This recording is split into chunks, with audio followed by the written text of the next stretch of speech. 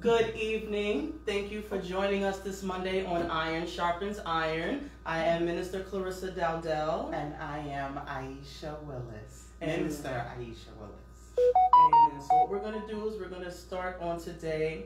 Um, if anyone who remembers last week, we were still talking about the armor. We were talking a little bit more about spiritual warfare and explaining the things that we have the power to defeat. So this week, what I would like to do is what we're going to do is we're going to take a look at what the enemy's tools looks like, and not even just the enemy, but things that we have to wrestle with, what they look like. Because not only do we have an enemy out there to battle, our biggest enemy usually comes from inside of us. So we want to talk about what it looks like when we're battling what we have going on versus what it looks like when the enemy is actually attacking us from the outside. And then we're going to even touch on a little bit what it looks like when God is just doing something in your life and it's His process. So we're going to get into that tonight. Um, Minister, you have any thoughts on that?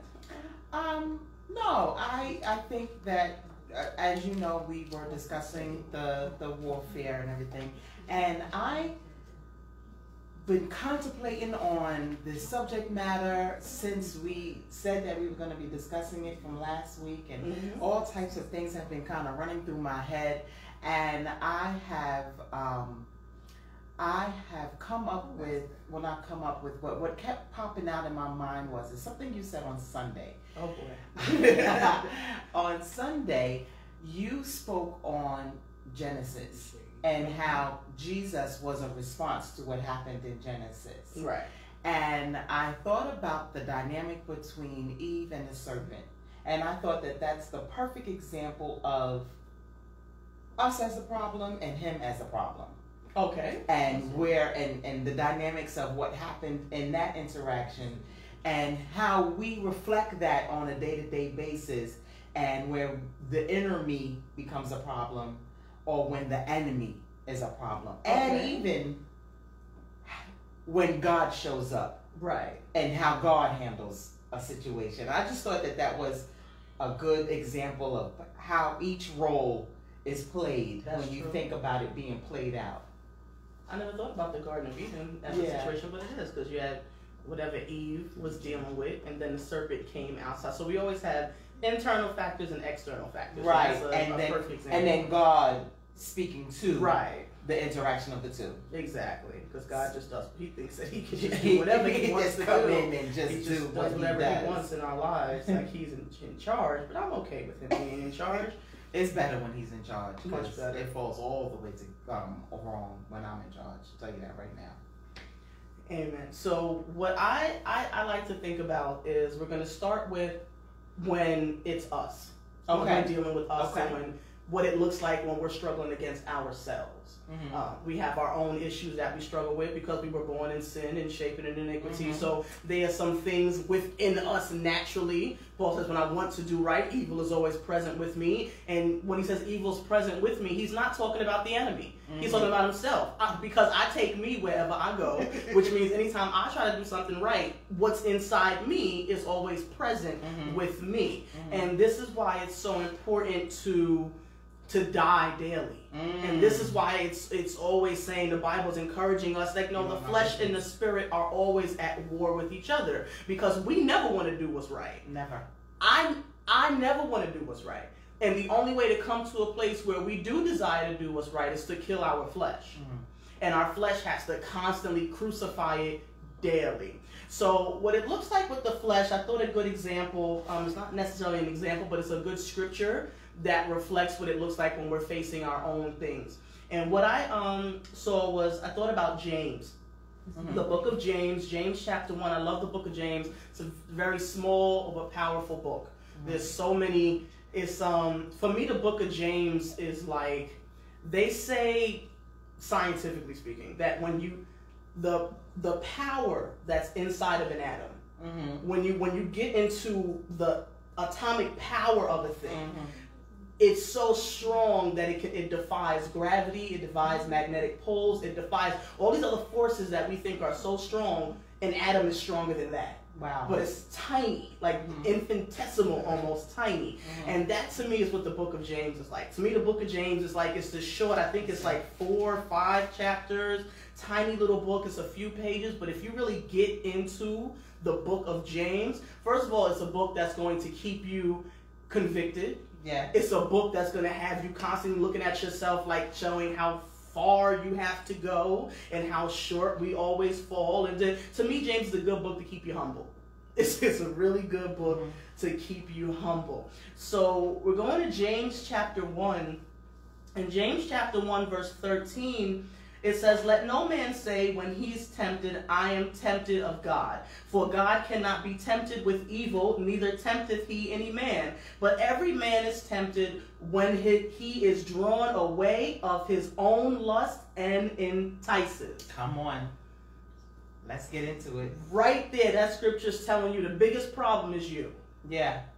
God is not bothering you. The enemy is not bothering you. You have your own lusts. You have your own desires. You have your own issues. You have your own things that you are wrestling with. So when I look at something and if I go on a diet and I go into a restaurant, I cannot say, oh, that's the enemy. No, because I like that cake or I like that food. That has nothing to do with the enemy. That's me dealing with what I desire, with Uh-huh. what I crave. So that's an, an example of some things have nothing to do with God or the enemy. It's just us. Yeah, yeah, I agree. And again, um, I'm so glad that you came from that and you're talking about sin because, in you know, again, and just meditating and contemplating on all of these things, I um, there are three types of sin. Okay. Okay, Okay. so Yeah, Oh, see, y'all done messed up. She got a notebook. I broke out my notebook, So- y'all. So you have sin, which in Hebrew is chata or cha- chata. And that means an offense or missing the mark or any thought or word or action that is disobedient to the will of God. Okay. That seems pretty Very general. Very general, very basic or whatever. Then you have iniquity. Uh huh. Get Uh-huh. talking about it. Iniquity, um, and the Hebrew word is awan, a a w o n for you Bible scholars out there if y'all are interested.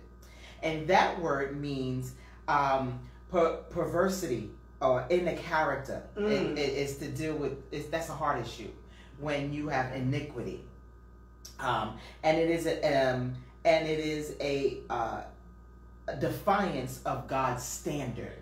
It's a defiance of God's standard. And then you have transgression. Nah. And transgression is crossing over a boundary. And that word in Hebrew is pesha or pisha. And it is infringing on another or another's property. So now, just in refer- reflecting on what you were talking about in the Garden of Eden with Eve, she when you have lust and you have reflect, you know, w- combining the two from the Garden of Eden and what you're talking about in James, and how it's your lust that brought you into there. Eve wanted to eat that apple. Right. And she Right. knew what the truth was. She knew what the standard was that God already established. She was not ignorant to the fact. Because she had a conversation with the enemy Right. about it. And she said, No, God said this. So she knew what the truth was. But the enemy, when he operates, and I don't want to jump ahead, but when the Mhm. op- enemy operates, he twists it and he lets you know you won't die, but what you're going to do this.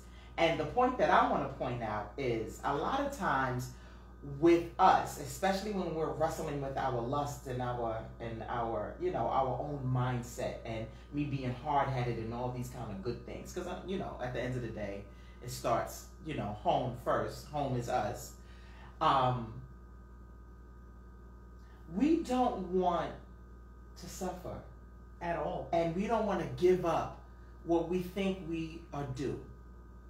And that mindset is the thing that's always going to, that's the biggest inner me fight. Mm. It, it, I, I get you. you understand what I mean? Mhm. If that we, we all talk about um it- it's the enemy or and the enemy and everything like no, but the biggest problem is we want what we want Right. and we want it how we want it and we want it when we want it and until we die to that desire oh holy ghost until we die to that whole that that desire to get it our way our, uh, how we gotta have it, being hard headed, being you know, Mhm. uh, uh, just contrary Contrary. on every aspect, and you might be right. You might be following all these p's and q's on this side, but Mhm. this I you refuse to dot just because you just want to be. I, ju- I don't want to dot it, and that's just the end of it.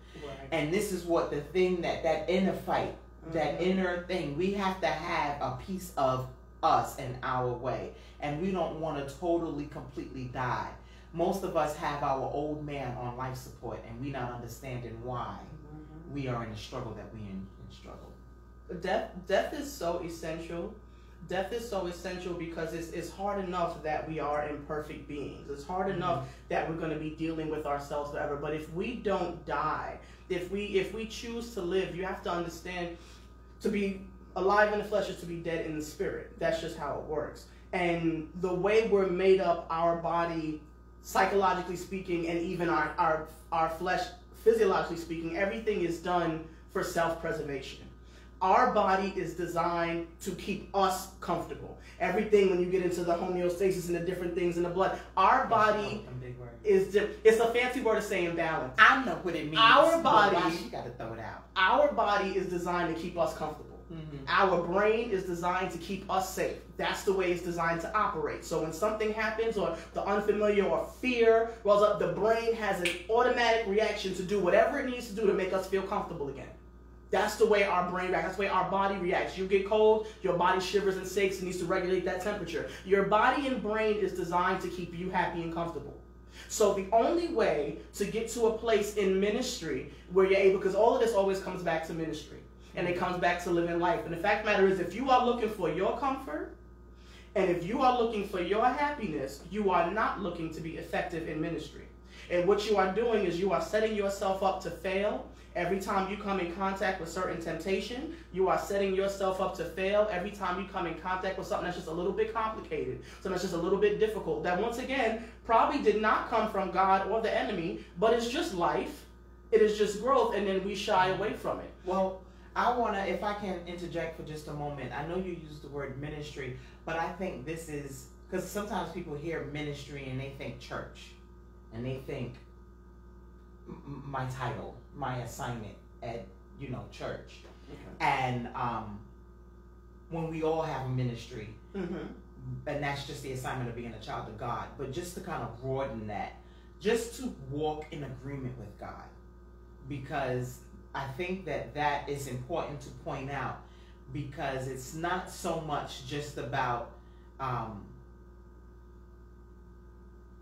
how you are. Yes, you want to be effective with who your, your fellow man, and yes, you want to be impactful in your community, and you want to be impactful in your job and your in your relationships in your home and, and at your church, all that, that's wonderful. But the number one relationship that is key first is is is upwards.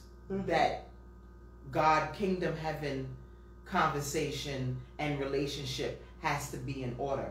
And because God will not look upon your sin or whatever, He has an answer for it, and that's why He, he sent His only begotten Son to die for our sins and he covers us with the blood. However, when we make a conscious decision under the blood Mhm. to still transgress against his standards and his precepts, he still can't look upon that. And now we got to go through the whole uh, process of purge me, wash me, creating me a clean heart, renew a right spirit within me, and you snotting and carrying on and wasting time almost in this posture of correcting your your um your lateral relationship with God, Mhm. um lateral vertical, your vertical relationship with God because you do not want to die to yourself. And the thing that's wonderful about the you know, you hear that word dying and it sounds so final and so hard and harsh and good God Almighty, it's just like die to myself. Hold on, slick, that's a lot. But the power of God is the resurrecting power of God. And then when you, that's the whole thing what I'm talking about as loss. We are so consumed and uh, overpowered by the idea that if I allow myself to die, if I allow myself to not exist any longer, then I won't have anything recognizable. But what He will give us is so much greater. Mm-hmm. But we don't allow that process of Him resurrecting the true version of ourselves. You know, you get where I'm coming from with that. I get exactly what you're and it's so much bigger than ministry. mm-hmm. Because at the end of the day, you can't be an effective minister if you're not effectively walking with God. I'm not associated. If you're not effectively being, if I can't be the best version of Aisha, I certainly won't be the best version of Minister Aisha. Mm-hmm. Like that's, you know, you got to start with the basics 1st Mhm. and then you can go on to, then you can go on to all the other stuff. Um, and I think that that's important for us to point out, because we, it, it, it's bigger. Here's the thing about me. I like to work backwards. And when I say I work backwards, I mean I start big and then I draw back to the core of a thing. So I start with words like ministry Okay. to put things in perspective. I'm the opposite. I start To pull back and show Yeah. you at the core of it because sometimes we hear things and that's the thing. We hear it and we get intimidated. Uh-huh. Where if you would understand what the core of it is, it's like the earth, right? You have the earth. You have us, you have us sitting in the globe. The earth is a globe. I'm not getting into this with you. The earth Wow. is round. It's a globe. We're not Okay? We're not going there. It's a globe. The earth is a globe. In the core of the earth, right? You have this core here. At the core of it, it's levels. Mm-hmm. It's liquid metal because the core is burning hot. The core of the earth is burning hot. I'm trying to make this. I'm trying to make this as easy the- as possible. This is my point. Okay. The core of the earth is burning hot, Uh-huh. right? Surrounding this burning hot core is is liquid metal because it's so hot that it's melt- melted. So it's like it's like nickel and, and still like all these different core metals. And it's spinning and it's moving and it's moving. We look at the earth from afar and we see the whole globe. And we see the atmosphere and we see the sky and we see the birds. Where the fact of the matter is, what's driving the atmosphere is the core if you understood the way that the core of the earth works, the core spinning, hot metal moving fast creates a magnetic field. So, because that core is doing this, the planes can fly, the birds can navigate to the south, the atmosphere is the way it is, the ozone layer is the way it is, that because the core is spinning. So, when I say ministry, I'm going to give you something broad. But the fact of the matter is, this ministry becomes very, very easy very, very easy when at your core you are dedicated to dying for God. At your core, you make a decision that no, for God I live and for God I die. When at your core, you make a decision that, Lord, the way you want me to do a thing is the way I'm going to do a thing. And when you dedicate that way at your core, the rest becomes easy. Right. It keeps your ministry spinning. It keeps the anointing spinning. It keeps power spinning. It keeps all of it spinning. So I just I just do things backwards. Mm-hmm. But for me, it's simply a matter of when we're talking about fighting things and fighting your own personal temptation. I just I I my goal is for people to be extremely realistic. Mm-hmm. And I find that sometimes people use language and it's not appropriate for that situation. People love to say the devil is a liar in a situation that has absolutely nothing to do with the devil. Like, perfect example, I have this friend and she texts while she drives, and it drives me crazy. And I'm like, yo, you want me to ticket one day? You want me to pull and get a ticket? The devil is a liar. That's not the devil. That's you texting and driving. and you're gonna get pulled over and you're gonna get a ticket. That has nothing to do. So when that happens, Or you die. can't say you can't say, oh, the devil is a liar. I got this ticket. No, you were texting and that was your own personal issue. So this is what we do in general in life. We do things or we come face to face with temptation and we and we succumb to it and we submit to it and then we get caught, we go, oh that pesky devil, the meddling kids, they, he was not bothering you. That was your own personal internal fight and internal struggle that you had going on that when you subdue your internal struggle, now the enemy has to try a new trick. Mhm. Up until then, you're tripping over your own feet. Okay. Does that make sense? I understand what you're saying. Do you think there's an end to tripping over your own feet? I think there's an end to tripping, but I don't. I think we're gonna have this issue to the day we die, but we don't have to trip. You can stop. You can see it like when a kid is walking, when a baby is learning to walk. he's a little unstable because mm-hmm. he's new to walking. He doesn't understand that that's stairs. Mhm. The baby doesn't understand that no, we put you on this bed, please stop rolling. Because if you roll, you gonna roll off the bed. Mhm. You know, if you keep up, those are stairs, you're gonna tumble because you're not steady in your walking. Mhm. But the more we begin to walk, we can recognize, okay, I see those stairs, I don't have to tumble down these stairs. I can walk down these stairs because now I'm equipped because I've been walking. So now I recognize if you're driving and they put speed bumps in the road, the speed bump isn't going to go away. But if you drive too fast over it, it's going to mess your car up. Mhm. But if you see the speed bump and you slow to a reasonable speed, you'll go over the bump and it won't hurt you. Mhm. So I think that because we're imperfect, we're going to have struggles till the day we die. Mhm.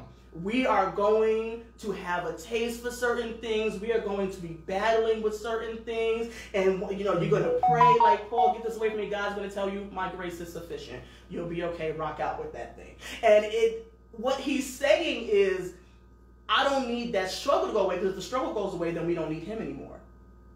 If we, if we stop struggling, then we stop being in a place of, God, I need you. And we think that we got it. So we that's always going to be there, but it can't always get the best of us. Okay. It can't. We can't. We can't keep losing the same fight. I can't. I've been in church now for a little over ten years. I'm not still losing the same fights I lost when I first came to church. Mhm. At some point, you have to mature.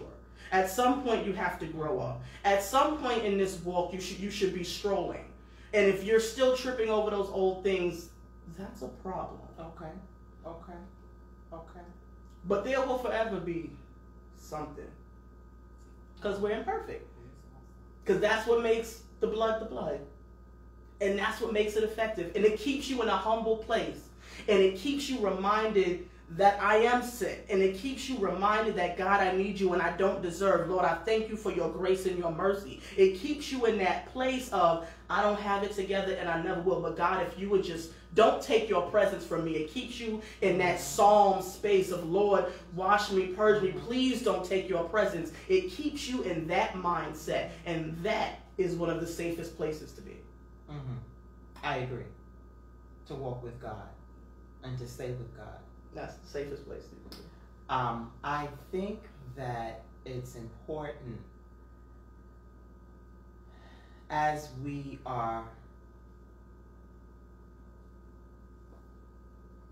It's easy to when something when something becomes uh, norm, Mm-hmm. we stop thinking it's us, and we stop. Well, we stop thinking it's him. We start thinking it's us. Mm-hmm.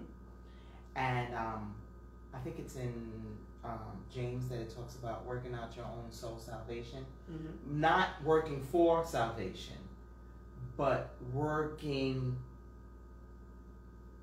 in your salvation so that you can maintain the posture of salvation. Um, not that you can lose it because it wasn't given to you. It was not. It, it was not your choice Right. in other words. But there is a there are levels to how you walk in it. Mm-hmm. And like you said, there are things a babe in Christ, you know, you know, how how is it you come this far and you still require milk? You know, you should Mhm. be working on meat or, you know, there are there are levels to this walk Right. and I am um, am in agreement with that. I think that when we are um, when we are effective in our walk with God, mm-hmm. um, He puts things before us to buffer us. We're not there yet. You're absolutely right. And we're not there yet. We're not. We're not there yet. Because right now we're talking about our issue. Well, this is uh, if, if I could if I could I wasn't gonna go that that far Mhm. as to talk about God. Mm-hmm. But what I was saying is, is our issue is, um, especially the older you get. Mm-hmm. I, I can't speak to nothing else, but the older you get, um, you begin to draw comfort from being stuck in your ways, Mm-hmm. and that buffet that God is sometimes sending.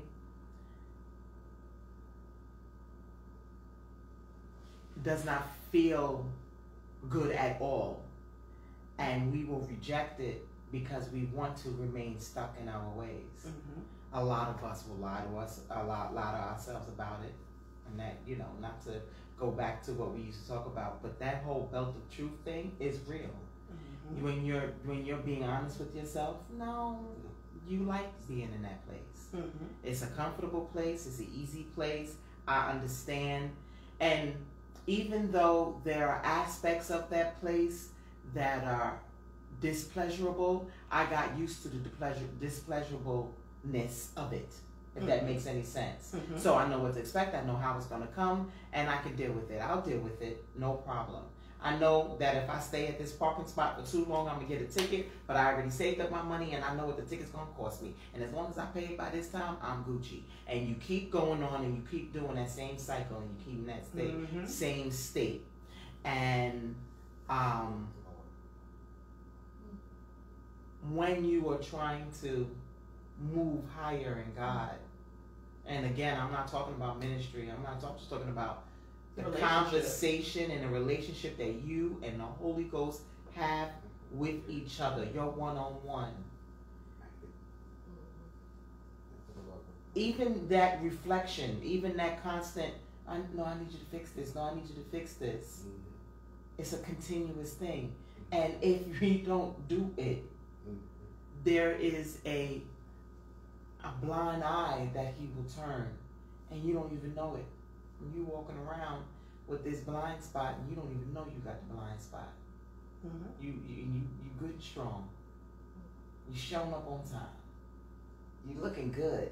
Oh, I'm not stumbling the way I used to stumble. But you have not given this thing over for victory unto the glory of God. And you holding on to it.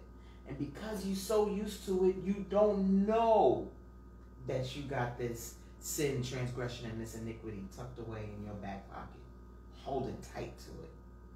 You won't even surrender it over to God. Let's speak to that. That inner me struggle. Mm.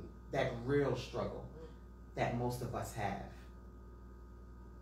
Because Well, let's speak to it then. Um, you want to speak to it?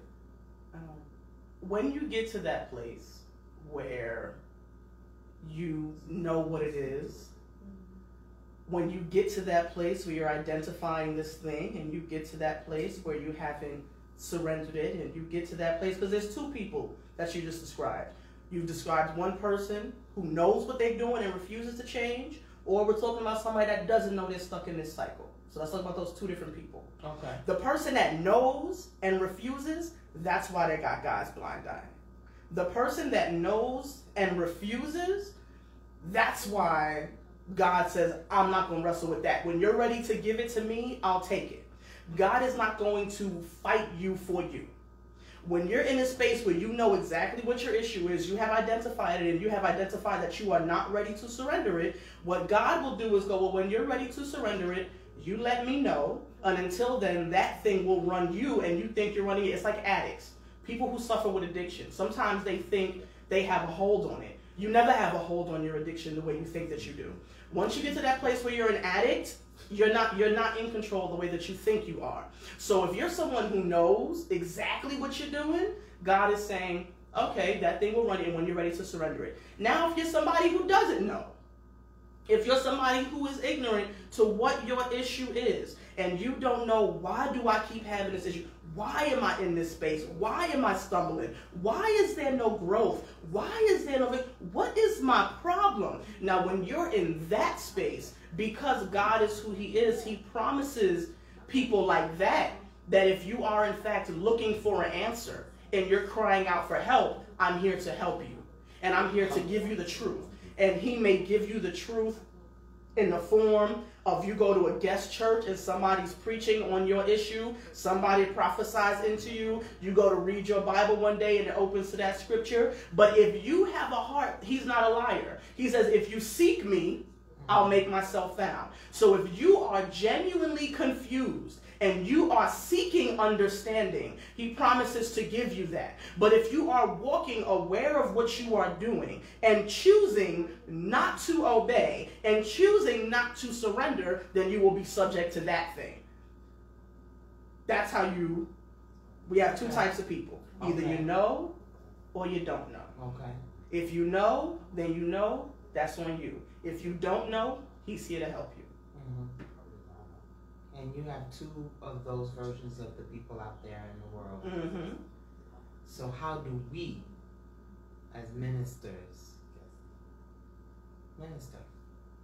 Well, when you're dealing with somebody, and, and I'm speaking as someone who I myself have never struggled with addiction, but You I have- any type of addiction. I haven't struggled with addiction. I have grown up around and been around people who did struggle with addiction, right? Okay. And I've Before you go on, things. can I ask you one question? Yeah. Just because I, that's a very interesting statement you just said. So, are we classifying addiction as one particular thing or just all addictions? Because addictions come and you can be addicted to sugar and don't know it.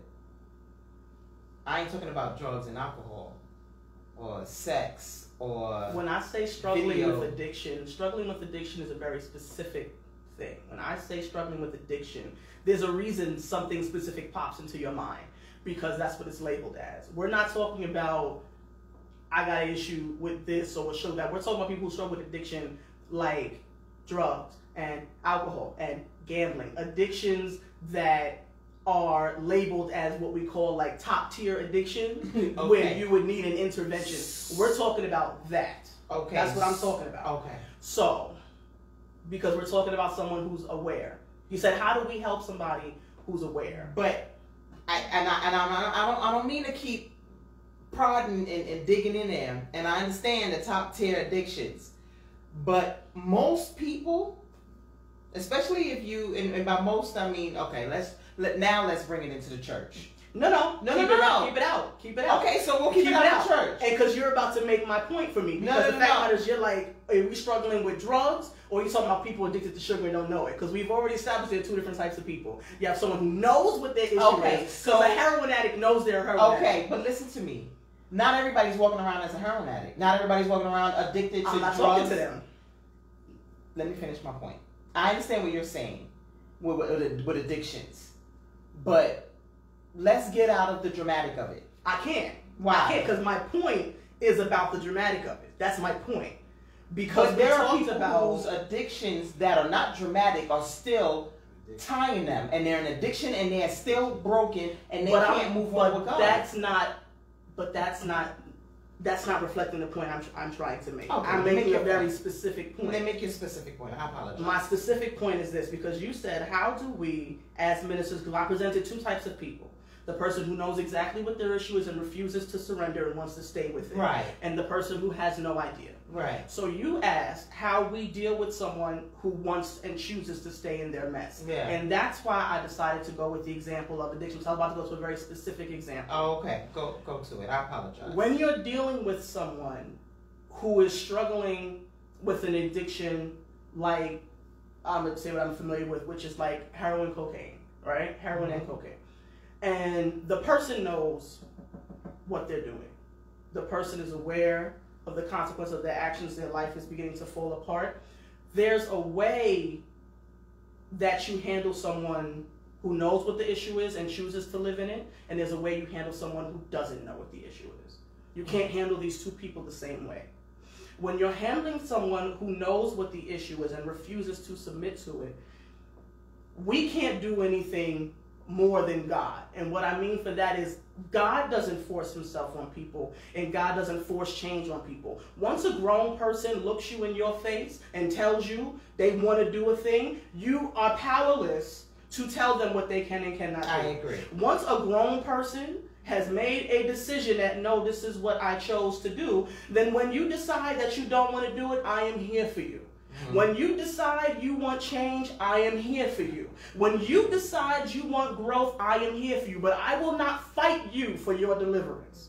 I will not fight you for you. Even if we go back into the church, when people come up and you're doing a prayer line or altar call, some people want to give it up and some people do not. As much of a prayer warrior as I may be, I can't pray something off somebody that they don't want going. I can't pray deliverance off a thing that you do not want deliverance from. So it first starts with that willingness. If the person is not willing, because they want to stay where they are and they want to do what they're doing, then you can't fight that person. All you can do is let that person know you're there. Okay. All you can do is let that person know that they have the option and they don't have to stay that way. Mm-hmm. You don't have to be like this. You can get better. You can be made whole. You can heal. You do have family. You do have people that love you. We are here for you. That's all that you can do for someone who's made a decision to do a thing. Now, if we're trying to help people who don't know if you're trying to help people who don't know, it's a little bit different because now you have to be wise and you have to be subtle and you have to find out how to handle that person. And that's when we get into things like when they do interventions. When they do interventions for certain behaviors, you're not supposed to use certain language because what you don't want the person to feel is attacked. So if you're trying to help somebody who has an issue or a struggle and they're unaware of their struggle, but you see this thing is running them, now you have to be strategic. Now you have to be wise because if your goal as a minister, or if your goal is as a friend or a family member, if your goal is to help the person, you can't attack the person. So now what you have to do is you have to do two things. One, you have to weigh whether or not you are qualified to help this person. Because some of us may have a desire to help people that we don't have the tools and qualifications to help. This is true. And this is why you go get the help of a professional. And when they do interventions, they go get counselors. And they go get people because though you may be my cousin or you may be my aunt and I love you, my version of helping you is hitting you upside your head and telling you to stop doing drugs. That's not going to help you. My version is to put you on blast, and I'm sick of this, and I'm like, that's not going to help you. Okay. So what I may have to do is go get the help of a professional. Okay. I may have to go pull on a counselor. I may have to go find a psychologist. I may have to find somebody who is equipped to help you. And so many times in the church, I don't know if we think that we have failed to do a thing, but it's the fact of the matter is, it's not that we're failing. It's that maybe you need to go get somebody that's a little bit more qualified. Maybe you need to get somebody who's a specialist. Maybe you, as, as a minister, maybe you need to call your pastor or your apostle for help. Maybe you need to call, this is why we have partnership in ministry. Maybe you need to know you have a friend that's a bishop in another church that's really good with issues like this. Maybe you need help. Because our, our apostle likes to, he says this all the time, that the tools don't change.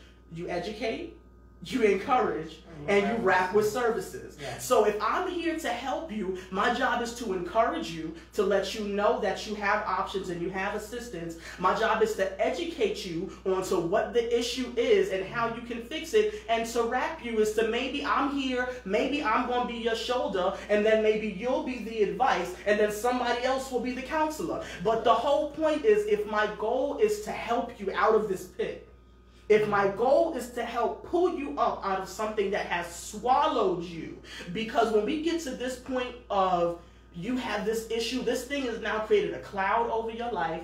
It's created a stench on you where you mm-hmm. wherever you go, you think you got it under control. Even when alcoholics not drinking, you smell it because now it's coming out of your pores. So now you've reached a point in your life where your issues, where you think you got it under control, but it's coming out of your pores. Okay. So it's our responsibility to find the best way to help you. And sometimes the best way to help them is for you not to be the person to help them. I agree. Can I interject now? Sure. Okay. Now let's take the dramatics out of it. Mm-hmm.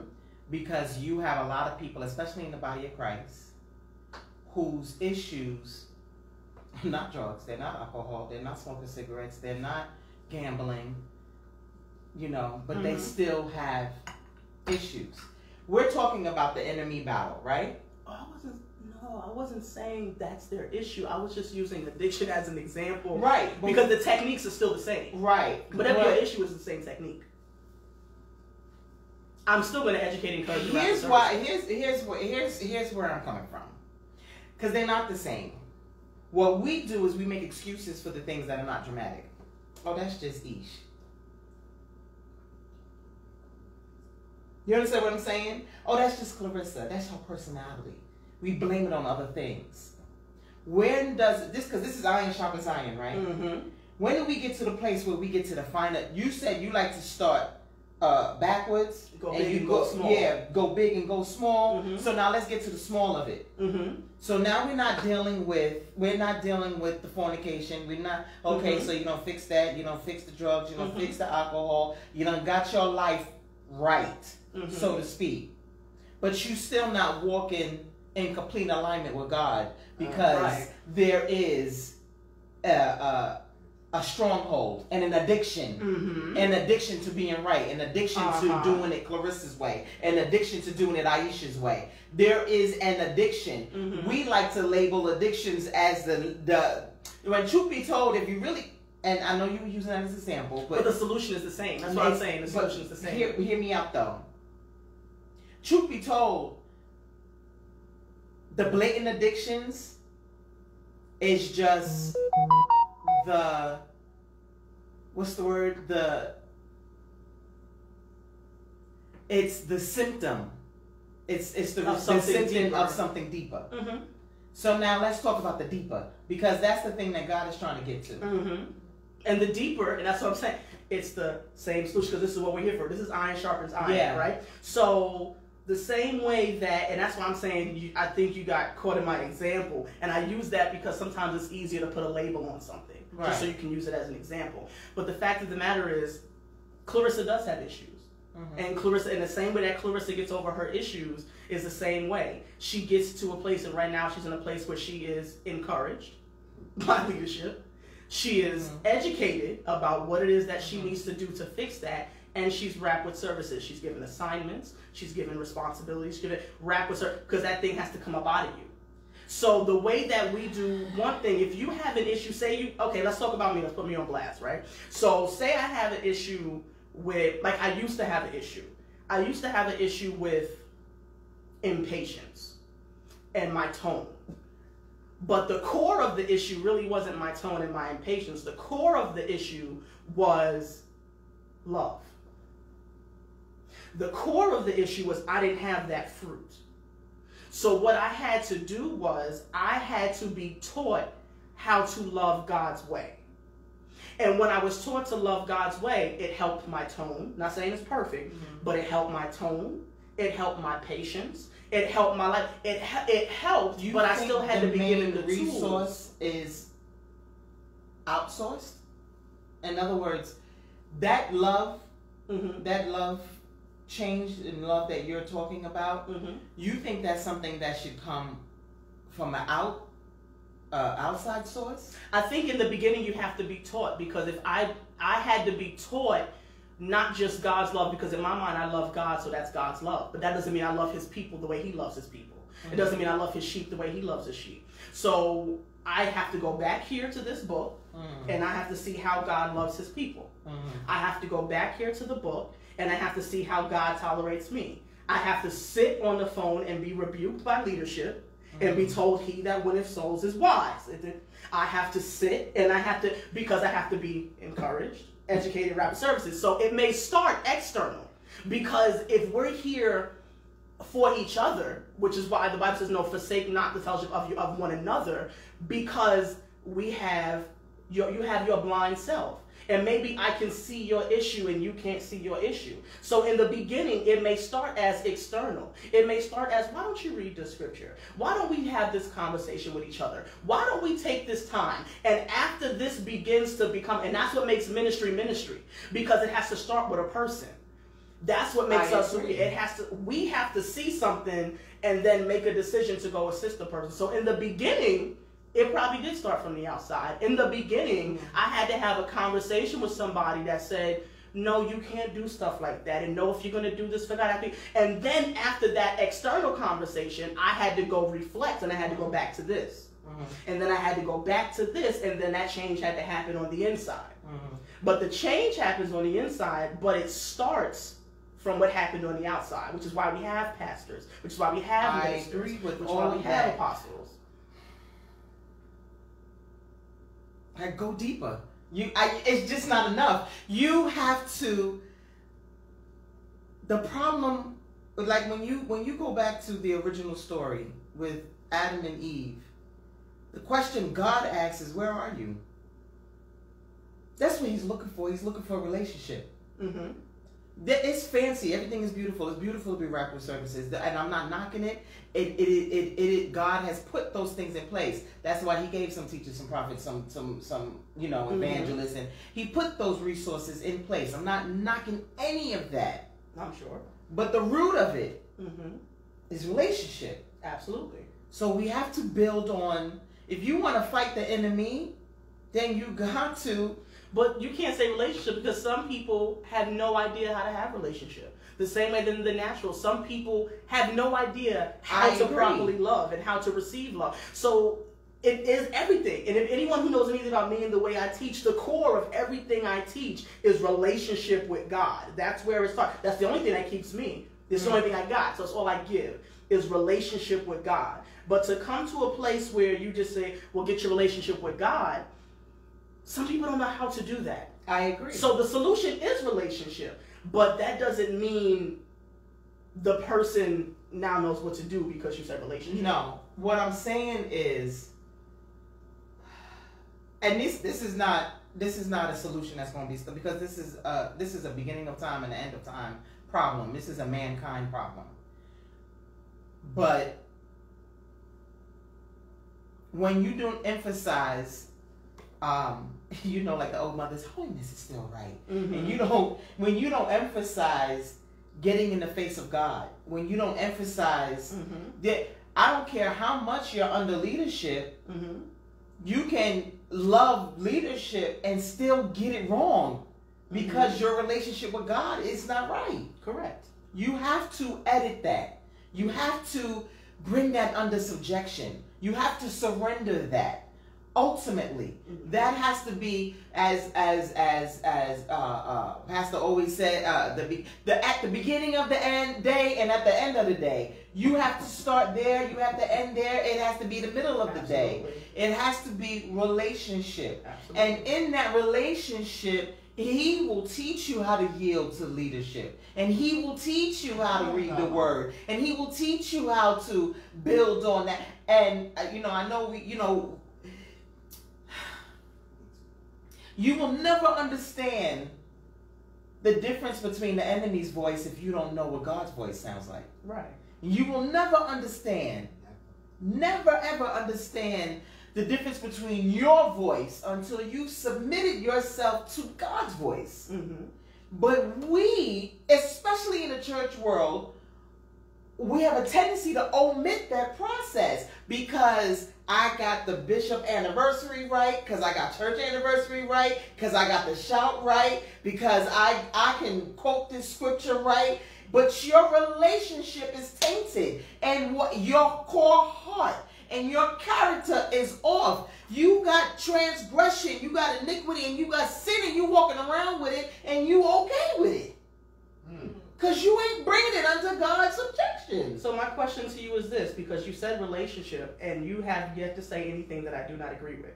So my question to you is this, because clearly, clearly you looking for an answer that you're not getting. No, no, me. no, it's so not my question, my, my question is this: What is not being said? Because everything that you just said is 100% the truth, and you're talking about relationship because your first question wasn't relationship. Your first question was how do we as ministers help them? Yeah. So my response was based on how a minister can Yeah. help somebody else. So now if your question is how do we as individuals improve our relationship? Now let's talk about that because that's let a different question. I'll speak to both. So the first is, as a minister, how we minister to other people is we, and this is why it's important for us to have it.